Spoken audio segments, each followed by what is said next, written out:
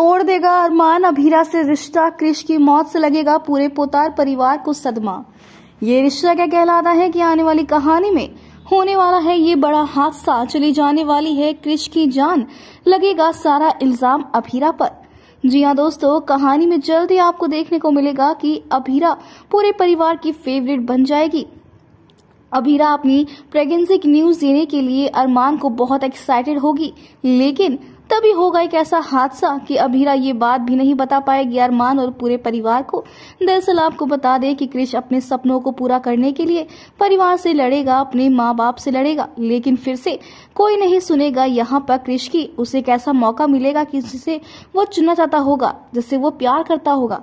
उसे शादी करने के लिए वो लड़ेगा, लेकिन कोई भी उसकी सुनेगा नहीं। ऐसे में क्रिश घर छोड़कर जा रहा होगा, लेकिन वो अपनी भाभी अभीरा को बताएगा, जहाँ अभीरा क्रिश को समझाने की कोशिश करेगी और उसे रोकने की भी प्लानिंग करेगी, लेकिन वो प्लानिंग हो जाएगी खराब क्योंकि यहाँ पर क्रिश के साथ हो जाएगा बहुत बड़ा हादसा और चली जाएगी उसकी जान।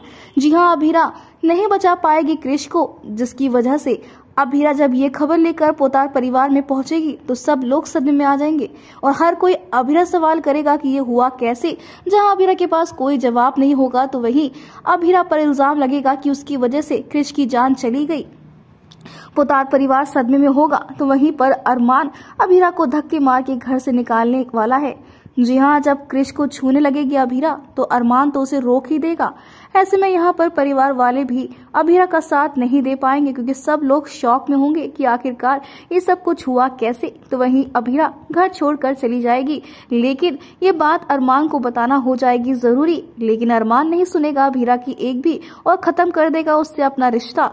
देखना इंटरेस्टिंग होगा कहानी में कि आखिरकार क्या अरमान तक पहुँच पाएगी अभीरा की प्रेगनेंसी की न्यूज़ वेल दोस्तों, हमें कमेंट शेयर करें कि आपको लगता है कि अभीरा ऐसा हुआ होगा गलत? तो हमें कमेंट्स करें ऐसी टीवी के लेटेस्ट अपडेट के लिए चैनल को सब्सक्राइब कर ले।